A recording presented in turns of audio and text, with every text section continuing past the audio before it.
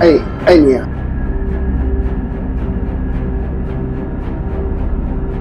တော့နှစ်ခါတော့တွေ့တာ ဝိညာဉ်ခေါ်ပွဲဆိုတော့သူကလာလောက်တာ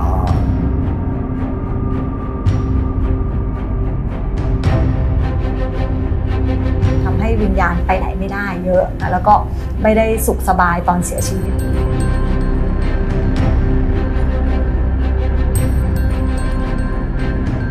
သူတို့ရဲ့အဖွဲ့ခေါင်းဆောင်ကအမတော်ကမလိုက်တော့ဘူးပြောတယ်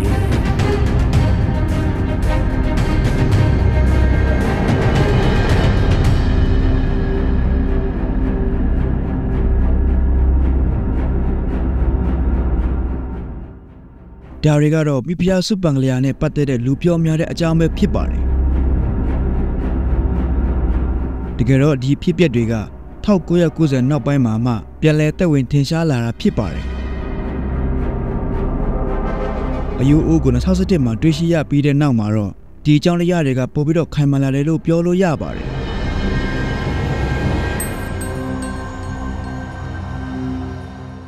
ရှေ့တုန်းကမြန်မာပြည်ရင်တွေ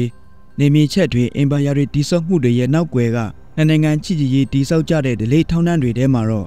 ဒီမိကညာကိုလက်ဆောင်မနာတော့အနေနဲ့စက်တက်ခံရပြီးတော့တန်တဘာမှာတစ်သက်လုံးနေထိုင်ကြရရှာတဲ့ရာဇဝင်တဲကမိဖုရားငယ်တစ်ပါးပဲဖြစ်ပါတယ်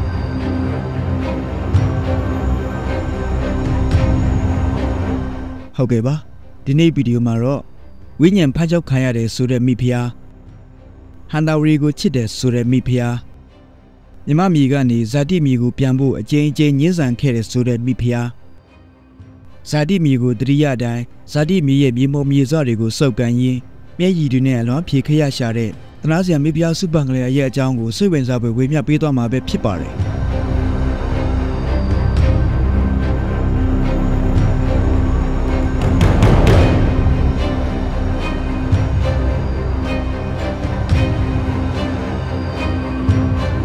ဝိညာဉ်ဖတ်ကြောက်ခံရတယ်ဆိုတဲ့သူမှာဟန်တာရီကိုချစ်တယ်ဆိုတဲ့တန်တပါသူ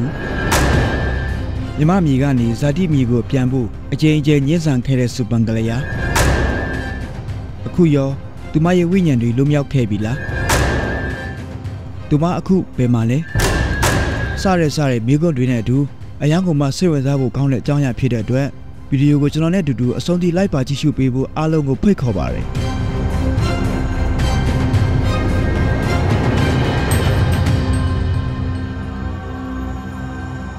ကျွန်တော်ကတော့ဇန်လီပဲဖြစ်ပါတယ်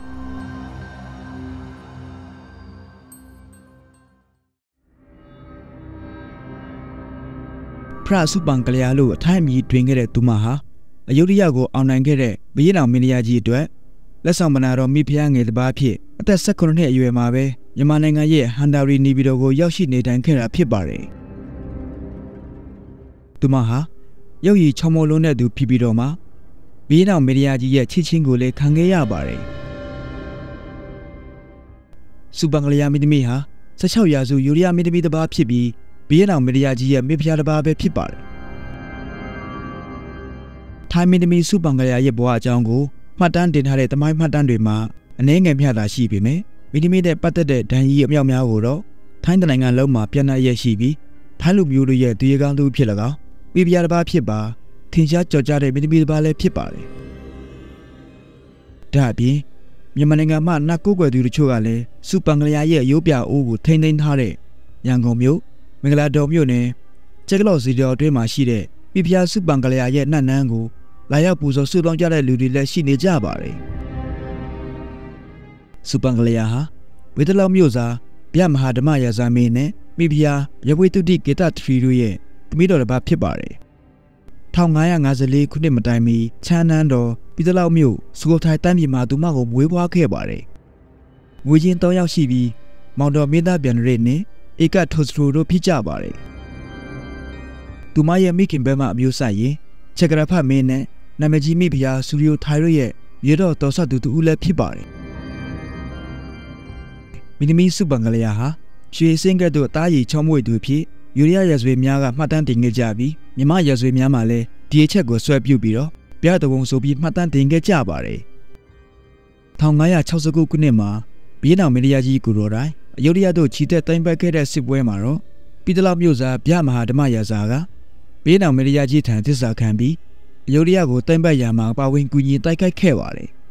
။အယုဒိယဘီရင်မဟိတမင်းကြီးဟာလည်းဗျမဟာဓမ္မရာဇာနဲ့ရောက်ဖတော်ဆသူတူလည်းဖြစ်ပါတယ်။ဘီရင်နောင်မေရိယာကြီးဟာ အယုဒိယပြည်ကိုတိုင်ပတ်ပြီးအယုဒိယဘီရင်မဟိတမင်းကြီးကိုနမ်းချကဗျမဟာဓမ္မရာဇာဟာအယုဒိယဘီရင်ဖြစ်ဘေးနောင်မေရိယာကြီးကိုတော်တိုင်ထိဖြူပေးပြီးနန်းတင်ပေးခဲ့ပါတယ်။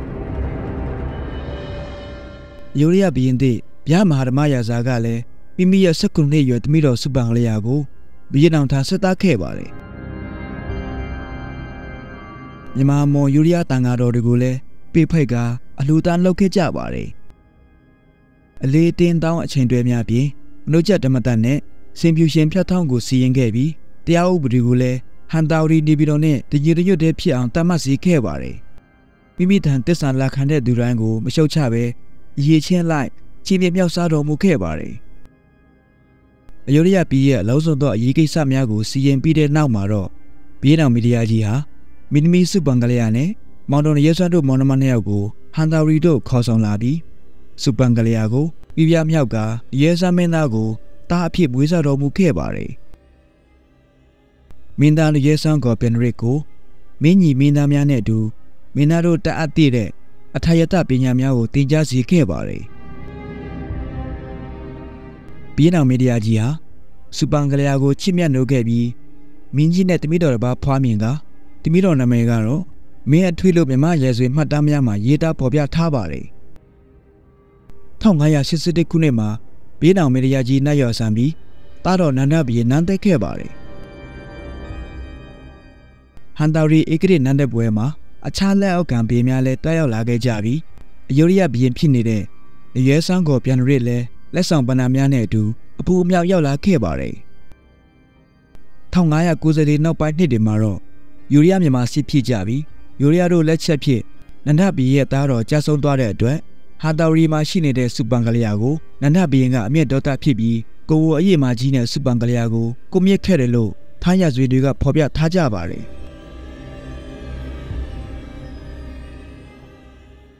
မြမရဲဆွေမှတ်တမ်းများမှာတော့ဒီချက်ကိုမှတ်တမ်းတင်ထားခြင်းမရှိပဲ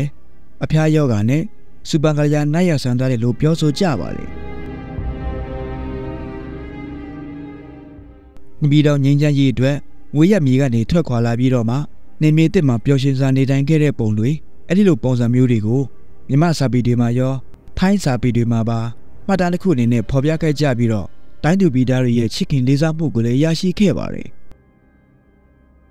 ဟန်တော်ရီမှာအနေကြလာတဲ့အမျှမိဖုရားစုပန်ကလေးဟာယူရီးယားဘာသာစကားအပြင်ကိုမွန်မြန်မာဘာသာစကားတွေကိုပါနားလည်တတ်ကြွလာတယ်လို့လည်းပြောကြပါတယ်။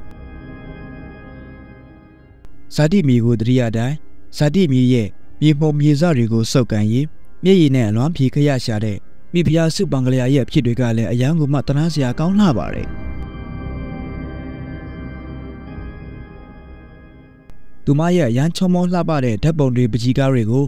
မြင်မှုနေကြကြပေမဲ့သူမရဲ့ရဆွင်ကိုတော့အခုချိန်ထိတေချာမတိရတဲ့သူတွေလည်းအများကြီးကိုရှိနေပါတယ်သူမကဘယ်လိုလဲဆိုတော့မှမသိတဲ့သူတွေတောင်ရှိနေကြပါတယ် တန်တပါမှမိဖုရားငယ်တပါဖြစ်ပေမဲ့လည်းသူမရဲ့ဇာတိမီကိုတော့တည်တဲ့ချိန်ထိမပြန်ခဲ့ရရှာပဲဒီမြမမီပေါ်မှာပဲသူမခေါင်းချသွားတာဖြစ်ပါတယ်သူမရဲ့တေဆုံးမှုတွေကိုလည်းအခုအချိန်ထိအမျိုးမျိုးပြောဆိုခဲ့ကြပြီးတော့အခြားအခြားသောဗဇာရာဇဝင်တွေကလည်းရှိနေခဲ့ပါတယ်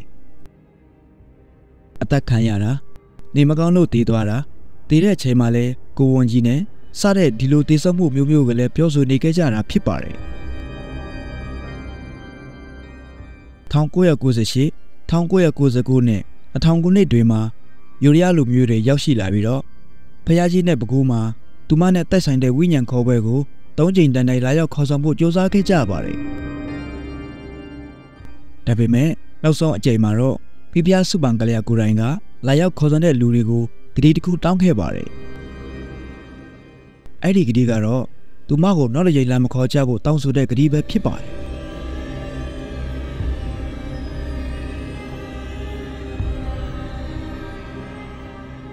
မိဖုရားစုပန်ကလျာဟာပကိုးမြေကိုဘာကြောက်တလောက်တောင်တာရောစင်တွေကြီးနေရတာလဲ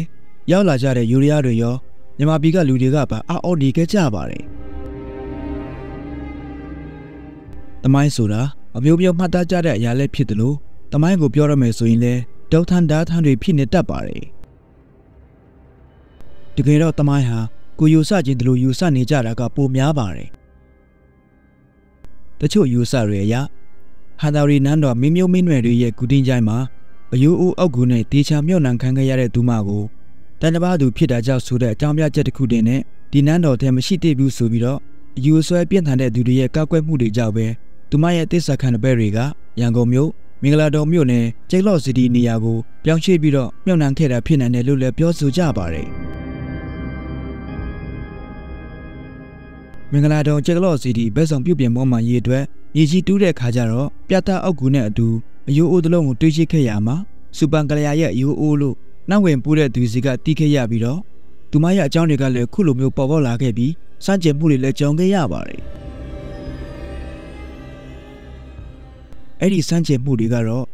ပဒီစိတ်ကြီးနဲ့စူပန်ကလျာဟာကောပကဒရီစီကပဒီလာတောင်းတဲ့အဖြစ်တွေပဲဖြစ်ပါတယ်ညအချိန်လူချေတက်တဲ့ချိန်တွေမှာဆိုရင် စီဒီရင်ပြင်မှာထိုင်ပြီးပဒီဆိုင်နေတဲ့မိဖုရားစုပန်ကလေးရဲ့အရက်ရောင်ကိုမြင်တွေ့ဘူးတဲ့လူတွေလည်းရှိနေပါတယ်။သူမအတွက်ရည်စူးပြီးတော့အလူပြုတ်ပေးတဲ့သူတွေအောက်မဲ့တတိယမှုများစွာနဲ့ရုပ်ထုတွေကိုဂုံပြုတ်ပြီးတော့လူဒန်းပေးတဲ့သူတွေလည်းအများကြီးကိုရှိလာခဲ့ပါတယ်။ဒါတွေကတော့အပြင်လောကမှာမမြင်နိုင်မတွေ့နိုင်ပဲနဲ့လက်စုပ်လက်ကန်လည်းမပြနိုင်တဲ့စမ်းကြဲတဲ့အရာတွေဆိုတော့ဖြစ်တည်မှုတစ်ခုကနေပြီးတော့စစ်ပွားပြီးဖြစ်ပေါ်တတ်တဲ့အတွက် တကယ်ရှိနေဘူးတာကတော့မငင်းဆိုနိုင်တဲ့တမိုင်းတစ်ခုပဲဖြစ်ပါတယ်။စမ်းကြဲတဲ့ဖြစ်ရက်တွေပေါ်မှာမြုံနန်စရလို့ပဲပြောပြောပါဇက်ရဇဝင်လို့ပဲပြောပြောစူပန်ကလျာဆိုတာကတော့မြမရဇဝင်ထဲမှာတကယ်ကိုရှိခဲ့ဘူးတဲ့ထိုင်းမြန်မာရဇဝင်တွေကမိဖုရားတစ်ပါးဖြစ်အမှန်တကယ်ဖြစ်ခဲ့ဘူးတဲ့သူပဲဖြစ်ပါတယ်။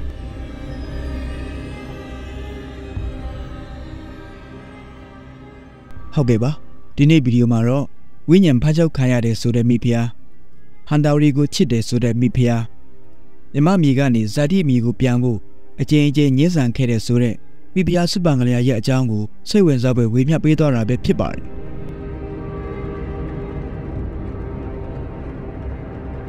နောက်တစ်ပတ်နောက်တစ်ပတ်တွေမှာလည်းဒီလိုစိတ်ဝင်စားစရာကောင်းတဲ့အကြောင်းအရာသစ်များကိုဝေမျှပေးသွားအောင်မှာဖြစ်လို့ကျွန်တော်ရဲ့ channel လေးကို subscribe လုပ်ပေးဖို့တောင်းဆိုကြည့်ပါတယ်